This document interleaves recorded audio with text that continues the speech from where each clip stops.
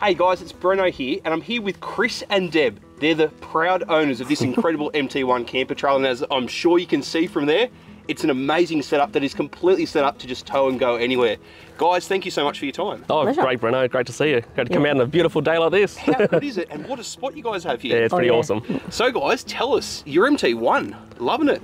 Oh, so do we. We absolutely, yeah, absolutely love it. Um, I thought we'll, we'll give a little story on how we came about it. I was on, on night shift and I was just flicking through YouTube, you know, as you do, because look, I'm a non camper. You know, I would go and book people's holiday houses. So anyway, looking looking through there, I went, oh, I saw the videos on the MT1 and went, this is it. This looks fantastic. And I knew Chris, he'd always want to go camping, and you know he hasn't been. So uh, I showed him it, and he says, yeah, yeah, I've seen it. I said, well, why didn't you tell me about it? You know, because I said the only time I'm going to go camping is if it's a rooftop tent, and the fact that it's on the trailer is fantastic. It's just not up yeah, not having to set it up on a car and, and everything's there, and the little, you know, some little luxuries and and more luxuries that Chris wanted. Well, look, I, I'm not into roughing it. Like I always say to people, I'm not Malcolm Douglas. Like I, Yeah. I like camping's holidays for me, so I like being like comfy when I go camping. Yeah, it it's just true, makes yeah. it so it makes it so much more enjoyable. It you know. does. Does. Yeah. So you obviously like um, optioned up a fair few things: the rooftop tent, the Grand Tourer, got all the good bits and pieces. But you've gone and taken it to the next level with your own setup. I love. Yeah. Tell me about the rooftop tent setup you got going. Yeah, so we did the couples touring pack. Yep. So it was had pretty much everything we wanted. Uh, so a little, few little upgrades with that was the 100, two 138 amp hour batteries, Yep. just give it a bit extra capacity. But then uh, as we've been using it, discovering that some things are better, like the rooftop tent, we just flipped around, so climb up over the drawbar now. So it's instant setup, don't have to worry about the ladder. The benefit was we can then put an awning out the side uh, and you know use both sides. So we were uh, camping last week down at Bermagui, and this side uh, sort of you know face a different area. The other side was a better view, but we needed to orientate it obviously for the sun. Uh, and having that awning because it was the first time we'd used it was brilliant. I love how neat that redraw setup I- is. That's probably my favourite part I've seen so far. Oh, de- definitely. We just loved the, the King's Clear bags. We sort of have our, you know, a couple of bags each um, for our clothes, and the drawer is just brilliant. That huge storage area is awesome. Like Oh. uh, in the back of it, we've got a couple of the King's um, 45 litre boxes. Yep. So we've got two of those, one with tools and one with cooking gear and stuff.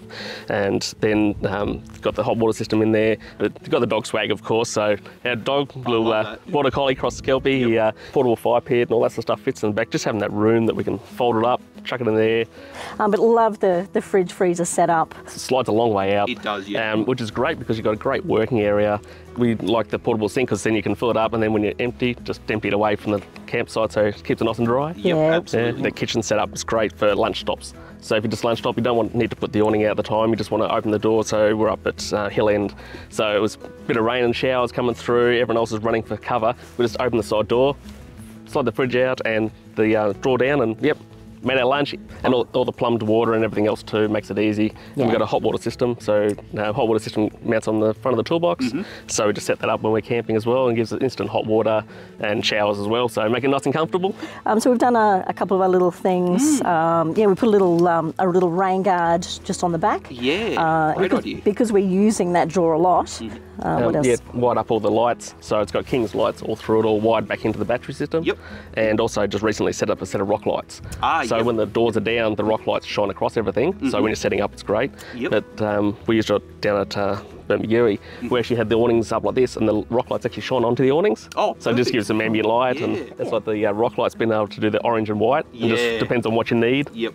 And how do you guys find that it tows when you're out travelling? It's just so simple and easy to hook up. Like we've got a station wagon, so Monday to Friday, nine to five, it's running to and from work, clocking up the K's. But when I go on the way on the weekend, it's all loaded up. Literally, just chuck some food in it, chuck a cl- couple of clothes, and we'll hook up and go. Yeah. Um, it's so easy to tow. It tows beautifully, and best thing is so manoeuvrable. Uh, like we're up at Sofala, and we're driving in amongst some trees where you barely get the car through, and the MT1 just followed it beautifully, and just that perfect width that you can see behind it. Um, it tracks beautifully, and nice and stable on the road. The brakes work well. Um, yeah, makes it easy. And you go, and you know, there is a fair bit of height to it, so it doesn't really put that much, you know, additional fuel fuel Yeah, load so on we're, it. about two litres per 100 kilometres extra. That's about it. Guys, any thoughts or any advice for anyone looking at one of these? Anything you can recommend or any th- things to consider for someone looking at one of these Well, setups? first of all, buy it. just, just do it. You know, life's too short. It's great too. There, um, you know, there's a the Facebook site for um, yeah Owners. people- owners. The owners group is awesome, and people have different ideas, and everyone looks at different ideas, and then either uses it or tweaks it something different. Yeah. And you go, I never thought of that until you see it and go, oh yeah, that actually works. Yeah, so that that is brilliant. You know, for, any, for anyone wanting to buy one, it's just that that MT1 community, shall we say? It's just brilliant. Yeah. Well, guys, thank you so much for your time. No, really enjoyed um, chatting to you guys. I think the only thing we need to do now is probably just um, kick back and take this amazing view in. Absolutely. Why not? Let's enjoy it. Okay. Beautiful day. Thanks, Brenno. Thanks so much, Fido.